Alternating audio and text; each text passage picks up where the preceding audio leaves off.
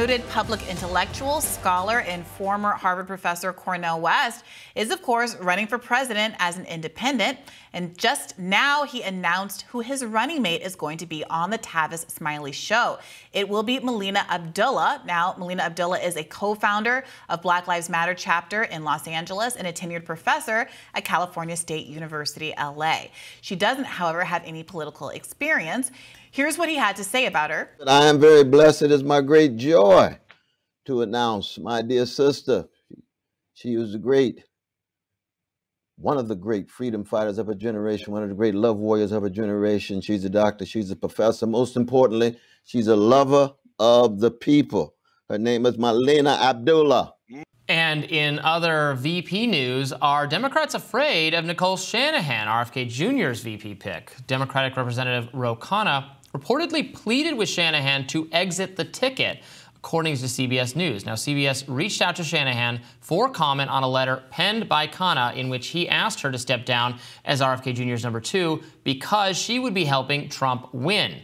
That has not gone over well. Shanahan responded by posting the correspondence with, CB, uh, with CBS on X, to which she issued a lengthy response. Not only did she decline Khanna's request, she explained that he initially was congratulatory of her, but is now circulating a petition from MoveOn.org to encourage her not to run.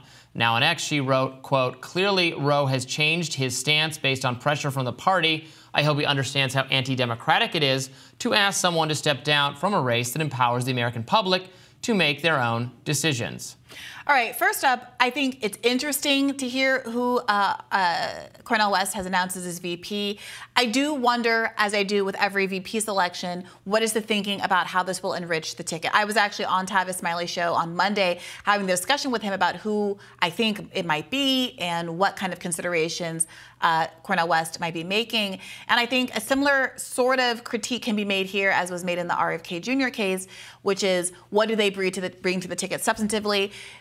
Uh, the logic often is, well, if the head of the ticket doesn't have as much political experience, maybe you get a backup person who does. And the VP, that's kind of the Trump, Mike Pence logic. Mike Pence, the idea was also he shores up the evangelical vote, given that Donald Trump is someone who used to identify as a Democrat who supported abortion, blah, blah, blah. And so if you're thinking about all of the reasons why VPs are picked, do they represent a state that you're going to struggle with in the general? All of these kinds of things you know, it's not immediately clear to me what the thinking was um, with uh, Melina Abdullah, although she certainly does seem to have a lot of ideological alignment yeah, um, with Cornel West. And is this just an expression like of core principle over some of these other political factors? Yeah, I, I, think you pretty much said it. This appears, I, am not familiar with this individual whatsoever. Um, looks to me like someone who has similar um, deeply progressive or, or left um, commitments, just like Cornel West, and is doubling down on that. Um, so there it is. Yeah.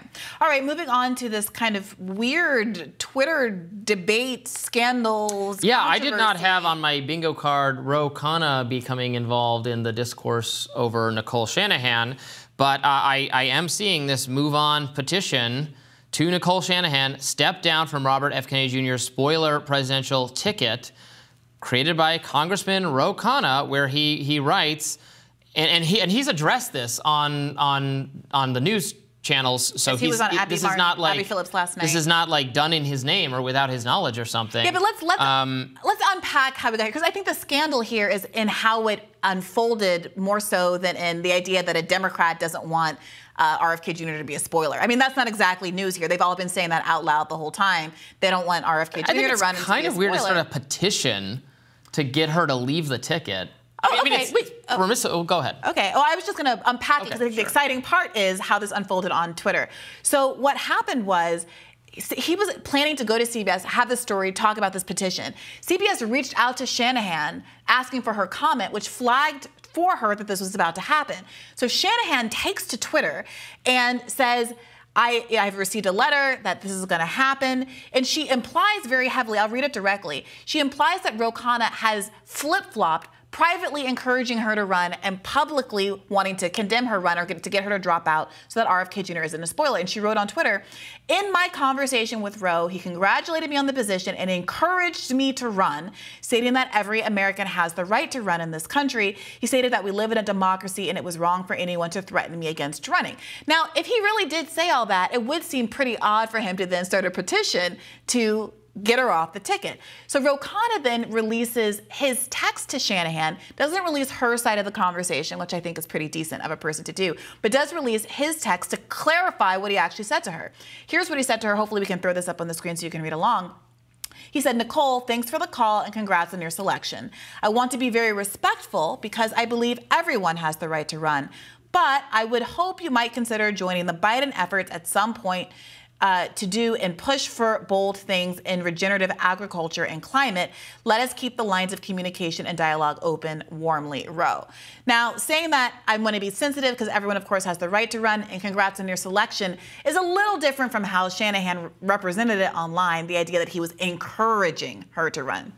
Yeah, uh, fair enough. Fine. I, I still find it very weird for a member of Congress to create a petition asking someone from another political campaign to not run. I, I, maybe I don't know. Maybe that's just me. I find that that aspect yeah. of it very weird, and it's explicitly framed around the idea that I mean, he, he can say all the nice things he wants about third parties and the importance of third parties, but he's he, here he's doing the classic um you know you should have the worst of two options kind of thinking. Well i think and the reason why he feels comfortable doing it is because you see in the text to her he's um, uh, specifically zeroing in on regenerative agriculture and climate. These issues that he knows are important to her which are ostensibly important to um, environmentalist rfk jr as well but which he thinks are going to be dramatically undermined by another trump presidency. And so i think some of the comfort reaching out to her seems to be that these are people who were two Democrats running in Democratic circles in California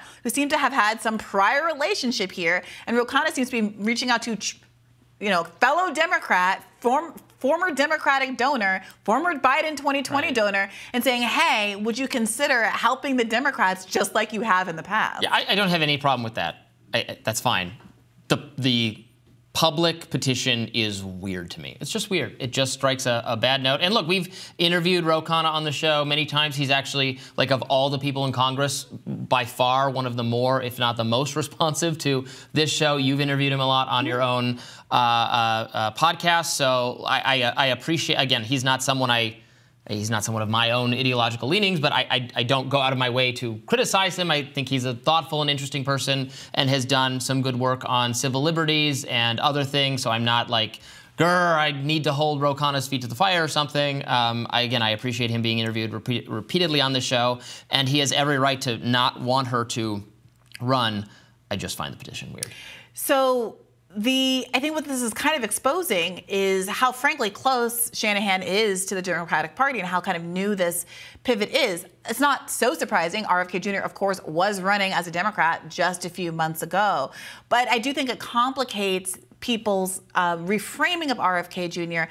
as a um, independent candidate who is increasingly right coded over certain issues well, that he has chosen to talk about. What it, what happens now when you have a kind of little media fracas where your VP pick is again associated so closely to Democratic actors. And with respect to Ro Khanna's actual ask here, I obviously, this isn't about me. I don't if it's that interesting to talk about what my feelings are, but I, I don't think it's that, you know, I don't agree with his idea that he should recruit her to help Biden's interests. Those, that's not my feeling in the least.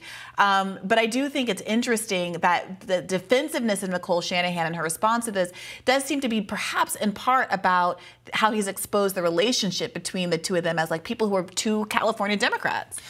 Yes. And what I wonder is, you know, we know that the Biden campaign has an entire uh, uh, facet of it designated to monitoring and seeking to prevent, possibly through legal challenges in the future, um, the third party challenges, the independent candidates for whom RFK Jr. has uh, emerged as the clear threat. I think they were primed to be more concerned about no labels. That has entirely fizzled and actually was really never going to be the, the threat they thought it was going to be. RFK Jr. is, is now their public enemy number one. So, what I w- wonder, and it would not at all surprise me if was the case, did someone in that effort go, oh, you know what? I bet Ro Khanna knows her yeah, and from Democratic sure. circles and ask, would you reach out to her I'm and sure. just politely see if there's any way you could get her not to run?